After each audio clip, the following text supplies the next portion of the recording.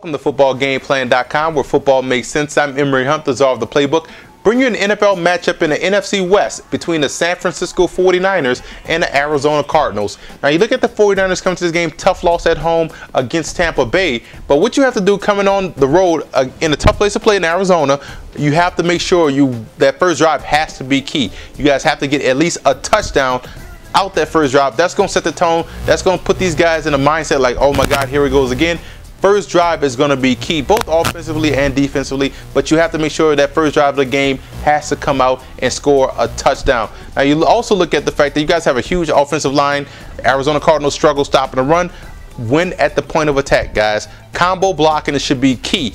Get your, your linemen, those big guards of yours, onto the next level on those linebackers. So watch how much room Frank Gore should have to run if you guys utilize a lot more combo blocking this week in order to have some success in the running game. Now you look at your defense coming in, you can't allow Anderson any time back there in the pocket. He's a guy that will love to get rid of that football quickly. Keep that pressure up. Don't be afraid to turn up the blitz a little bit more this week than so other weeks. So you want to keep pressure on Anderson. Keep him uh, guessing offensively and keep him getting rid of that football quickly. And you look at your red zone situations, you guys have to use a lot more inverted cover two. Put the safety at Fitzgerald, put the safety on Breaston. Therefore, you get a big jam at the at the line of scrimmage, and your cornerbacks can effectively play over top and just play the ball. So in red zone situations, I will use a lot more inverted cover two, putting the safeties in place of the cornerbacks and the cornerbacks in place of the safeties, and you should give yourself a chance to win on those jump balls against Larry Fitzgerald.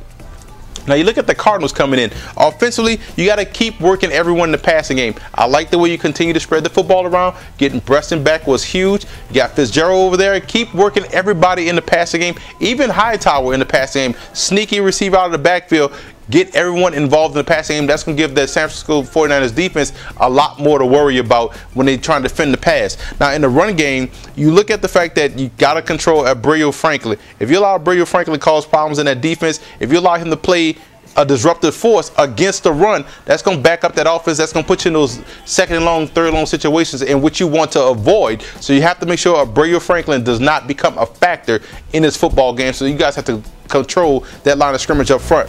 Now, defensively, don't allow yourself to get big boyed in the running game. San Francisco is going to come in. They're going to try to run the football down your throat. You're going to see a lot of double tight end sets. You're going to see a lot of unbalanced lines. So you want to make sure you don't get big boyed in the run game play aggressive. Stopping the run is an attitude. You guys have to come in with the right attitude in order to stop the run. Don't allow yourself to get pushed around the run game. And A gap pressure. If you get pressure on Troy Smith down the middle of that offensive line, guess what? You give yourself a chance to win defensively because you do have some ball hogs back there in the secondary, and Cromartie and also um, Toler, a guy that can make plays on the ball as well, too. Adrian Wilson's a guy that can catch an occasional interception, but it all starts when you get pressure up the middle of that offensive line for San Francisco. Yes, they're a little bit weak on the offensive line right now due to some injuries, especially with Joe Staley's going to be out. So pressure up the middle of the defense is going to allow you guys to win in that passing game and create opportunities for your defense to get some turnovers. I'm going with San Francisco in this matchup. They have the element that the Cardinals don't want to see. They can run the heck out of the football. That's going to keep the 49ers on the field offensively and keep their defense on the field tired. And so I think the 49ers are going to come in and take control and try to stake claim and stay keeping that race for the NFC West title. For more NFL previews, visit footballgameplan.com slash NFL or visit our YouTube channel at youtube.com slash football game plan.